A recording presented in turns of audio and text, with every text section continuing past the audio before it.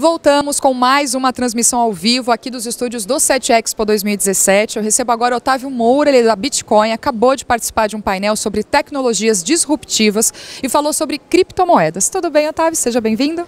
Tudo bem, Dani. Obrigado pela oportunidade aqui desse bate-papo. Sim. Queria que você falasse para a gente, por favor, o que é Bitcoin, como ele surgiu, é uma nova moeda. Sim, Dani, o Bitcoin ele surgiu em 2009 Tá? É, hoje é uma moeda reconhecida mundialmente e principalmente por uma característica que faz qualquer moeda ser forte ou fraca, que é a liquidez. O Bitcoin hoje você tem como converter em moeda local em qualquer lugar do mundo um Bitcoin.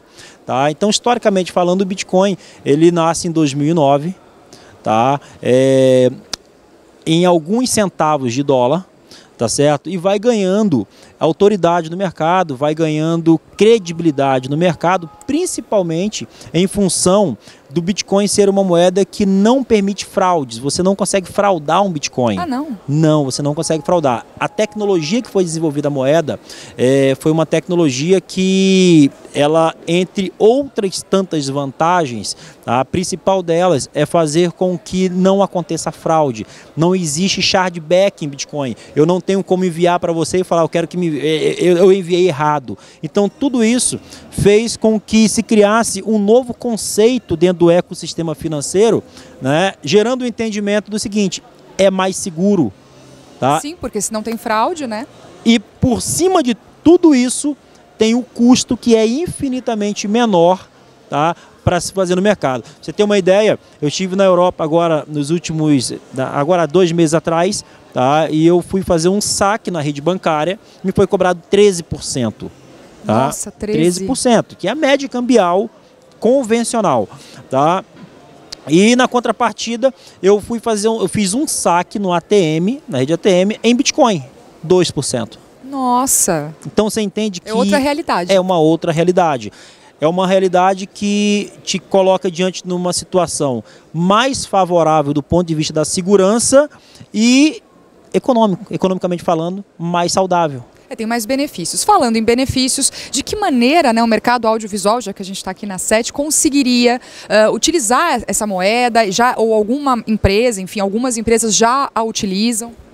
Certo. É, partindo do pressuposto que o Bitcoin ele é uma moeda global, tá? E com baixa tarifação de circulação, no meu entendimento, facilita qualquer indústria fazer negócio. Pelo seguinte, você tem a facilidade hoje de fazer negócio na China, praticamente em tempo real, tá? E de modo muito barato. Isso facilita você encontrar o que você precisa, pagar imediatamente por aquilo que você quer, que vai te facilitar no sentido do delay de recebimento, facilita você receber isso mais rápido e pagando muito menos. Então, por isso que o Bitcoin ele passa a ser uma alternativa muito saudável ao profissional dessa área, porque conecta simplesmente esse profissional no mundo inteiro. Entende? As empresas, as grandes ou as pequenas, enfim, quem está nos assistindo, dono de produtor, enfim, desse mercado audiovisual, de que maneira as pessoas, enfim, as empresas podem ter acesso ao Bitcoin? Porque a gente sabe, como a gente falou até aqui um pouquinho antes da entrevista, a gente quer comprar dólar, a gente quer comprar euro, a gente vai numa casa de câmbio. Como é que funciona o Bitcoin? O processo ele é bem similar, tá? Com quanto seja uma moeda digital, você vai precisar recorrer a uma corretora. Então existem no mundo inteiro corretoras específicas, especializadas, tá, para te vender o Bitcoin. É, no Brasil, por exemplo, muita gente ainda, tem, é, ainda não tem essa informação. Hoje o Bitcoin, nesse momento, está entre 13 mil e 13.500 reais. Uma unidade. Nossa! Tá? Mas você não precisa dispor de 13.500 reais para comprar um Bitcoin. Não, você pode comprar 50 reais. Você vai comprar cents que nós chamamos de satoshi. Sim. Frações de bitcoins. Tá? Então você pode comprar a partir de 50 reais no Brasil, você pode começar a comprar bitcoins.